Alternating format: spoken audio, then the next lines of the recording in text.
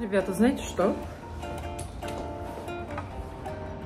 Это влог.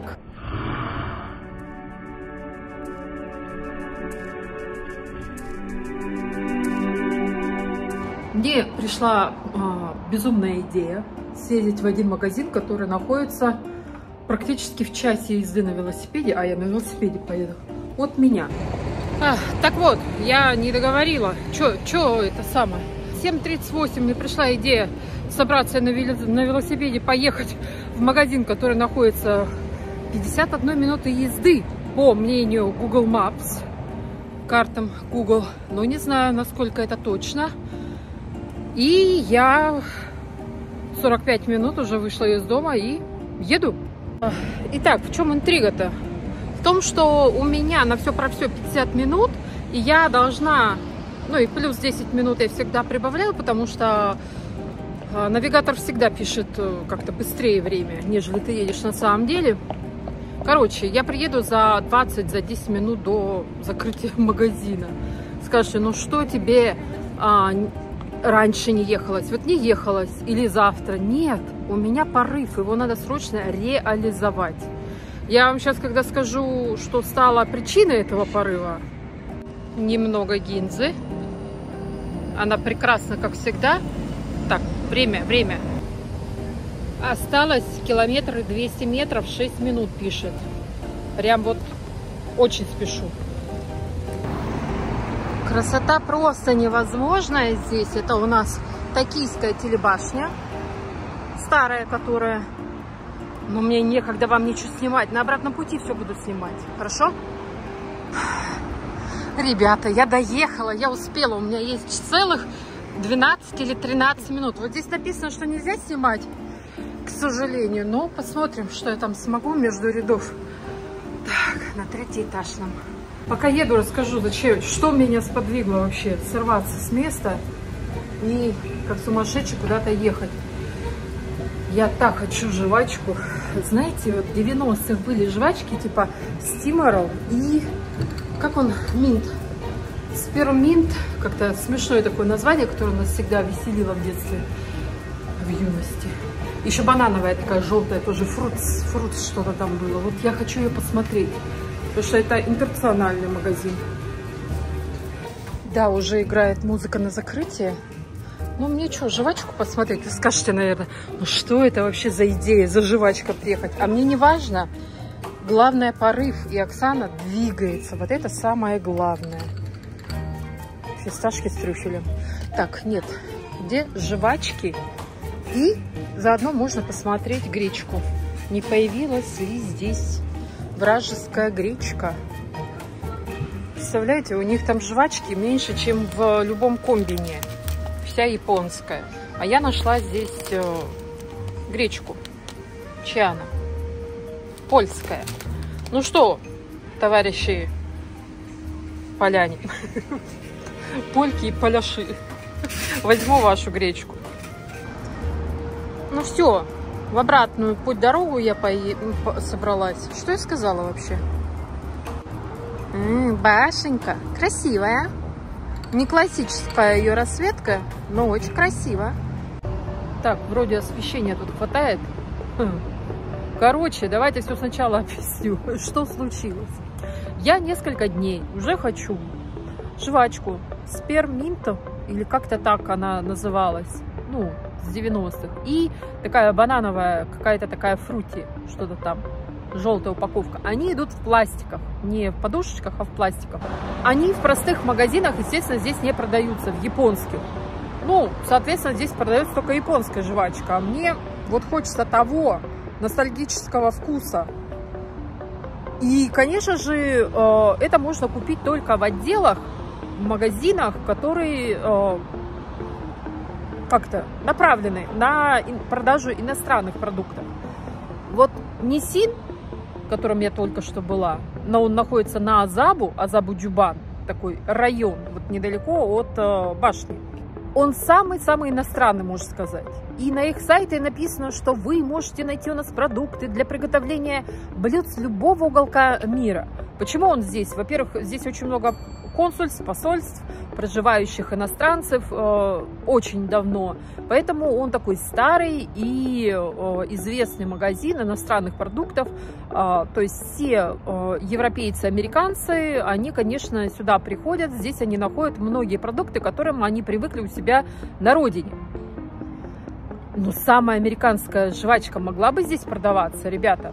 Я ее здесь в Японии покупала. В другом отделе, не в этом магазине, а тоже такой отдельчик, который э, как бы себя оппозиционирует как э, прода ну, отдел иностранных продуктов. Но я даже подумать не могла, что в таком магазине с самым иностранным иностранным может не быть этой популярной жвачки. Там вообще выбор офигенно маленький и только японские вот эти вот их марки. А я так хотела эту жвачку. И, короче, я стала ее смотреть на Amazon. Она какая-то там нездорово дорогая. И то, скорее всего, ее с Америки будут слать. То есть надо будет заказывать либо большое количество, либо... Ну, короче, я посчитала проще сесть на велосипед, проехать, блин, в одну сторону 50 с лишним минут до этого магазина и посмотреть, купить ее здесь. Но ее не оказалось. Пришлось взять гречку, взяла две пачки себе, Люси и мыло. Думаю, ну хотя бы я поностальгирую по какому-то мылу. Я его раньше там видела. Палмолив, помните, такое было? Тоже американское. Я оставлю видео. Как раз я смотрела гречку, которую убрали тогда вот э, Вообще у нас э, здесь продавали русские и белорусские продукты, белорусское масло, по-моему, даже были сыры белорусские и даже не белорусские, типа сулугуни, я не знаю, кто их, может быть, даже Россия, да, какой-то регион производит. И, конечно, были все вот эти вот крупы, сечка, пшено, что еще было, вот гречка обязательно. А, потом она вся, полностью эта продукция русская, белорусская пропала резко. Ну, знаете почему? И сейчас можно найти гречку там. Вот в этот раз была польская, до этого я брала, по-моему, Латвия, что ли. Латвия, да, Латвия. А, и что я хотела сказать? Что этот магазин скатился. Да, на самом деле, я вот так посмотрела по ассортименту вот, каких-то снеков, еще чего-то. Очень мало американской продукции. Раньше было намного больше намного больше. Сейчас я, я хожу и смотрю, что производство Японии, то есть японских продуктов, самых таких вот, ну как сказать, я даже не знаю, как это выразиться, но если раньше ты заходил и видел там 99% все было импортное, японского вот будет на примере соли, да, будет 15 пачек импортной и одна какая-то японская соль. Сейчас наоборот. Сейчас, наоборот, очень много стало японской продукции, да, которая, можно сказать, замена американской или еще какой-то продукции, но это, ну, ну, уже нельзя сказать, что это, ну, магазины иностранных продуктов. Они есть, но, блин, как можно стиморал, блин, не, про, не продавать? Ну, ладно. Это я на обратном пути немножко проехала, в парк заехала, а, Смотрите, там это, как ее, башня. Ладно, ребята, поехала я до дому. Дорога предстоит еще, ну, долгая получается. Буду по ходу останавливаться, показывать вам районы. Поеду я через Гинзу, поэтому там очень красиво сейчас. Обожаю, э -э, не падай, обожаю я, короче, Гинзу после закрытия всех вот э, магазинов, э, ресторанов. А, может быть, сейчас э, по, пошляемся, как это сказать, полазаем, лазить. Я называю это лазить по переулкам Гинзы. Ночью очень интересно. Время 9 часов, начало 10 самое то. Так, немного криво будет. А вообще надо мне меня снимать, когда я так еду? Так, отсюда красиво. Башню видно. Основание красное. Дальше вот такие вот фонарики. Так, а здесь, знаете, что происходит? Здесь происходит, по-моему, какие-то, да, вот здесь вот пожарка стоит. Видите, пожарная машина.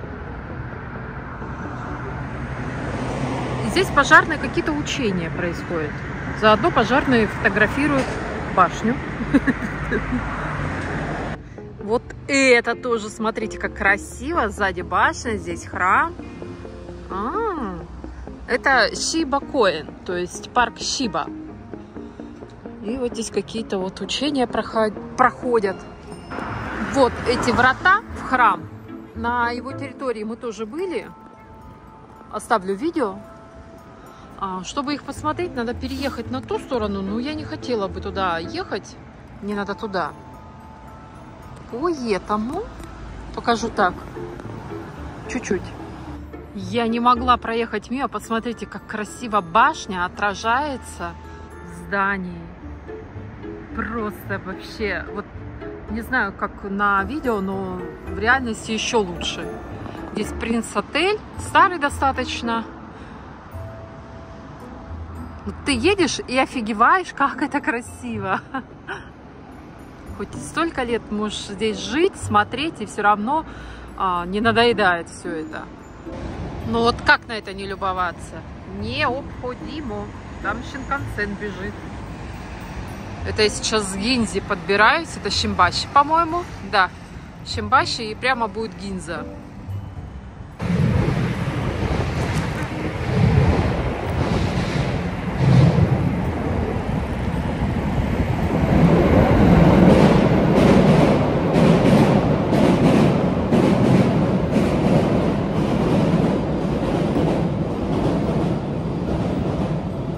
Итак, вот она Гинза.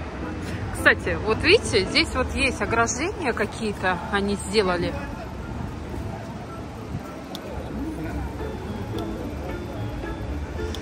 Короче, какие-то ограждения, кого-то они... Вот на той стороне очень много было, может быть, даже сейчас еще есть людей и камер.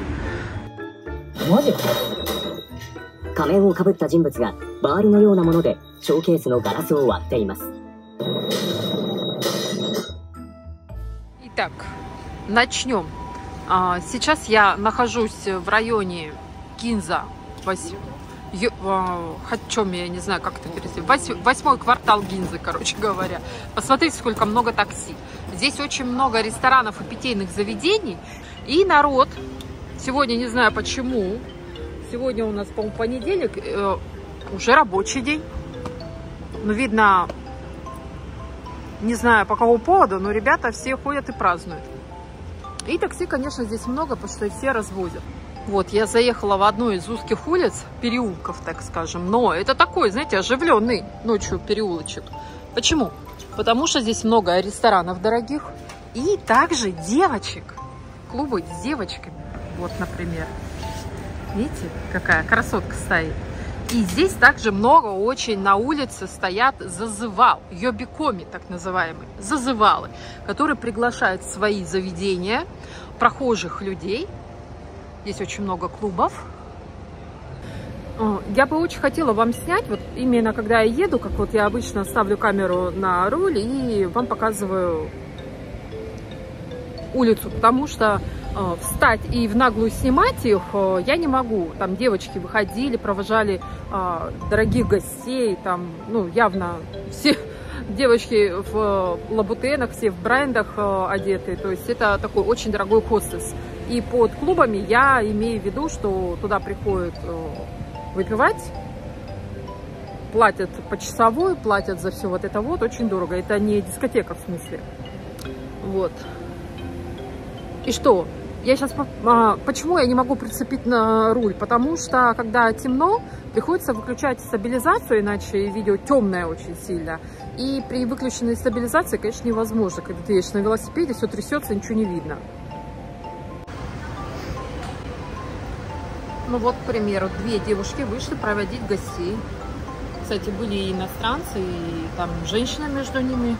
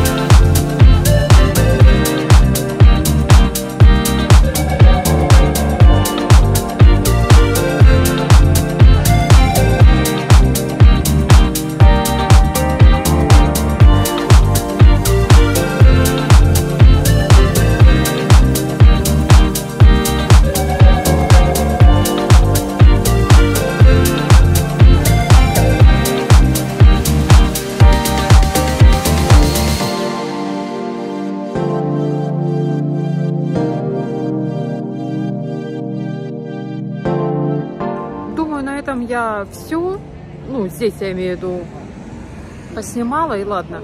А, если что-то по ходу до дома будет интересно, опять поснимаю, но мне нужен, короче, навигатор, и у меня осталось 19% батареи. Мне надо экономить и больше усилий прилагать именно ножками. Ножками. На самом деле, это моя вторая вылазка за сегодня. Я днем ездила в иранский магазин, который оказался закрытым. Не знаю, по какой причине. Вроде сегодня не должен быть выходной, понедельник, рабочий день. Ну, у них может быть, может быть свои какие-то праздники, не знаю. Короче, и как раз я на этом мосту сегодня вот в обратную сторону, когда домой возвращалась, ехала. Сзади меня лодочки. Сейчас я вам покажу, как это красиво. Видите, какой тут... А, я спрашивала в сторис, как это называется, причалом не назвать, но мне на английском написали, да, что это Асакуса Марина. Марина, это значит все-таки, ну, скопление или стоянка лодок, яхт. Вот какое-то грязное пятно куда-то плывет. В реку Сумида. Там у нас река Сумида. Здесь очень красивый мост. Вот такой мост, он старый, но за счет подсветки он очень-очень даже хорошо смотрится. Батарейки у меня ну, вот буквально 15%. Итак, я уже дома. Вот гречка мне и Люси по пачечке взяла. И взяла вот такую вот упаковку мыла. Там только продаются вот сразу три штуки упаковки. А, не было сейфгард, сейфгард или подобного мыла. Вот взяла, что было, короче говоря. Оно очень приятно пахнет. Тем более, видите, оно издается очень, очень давно. Кто знает такое мыло?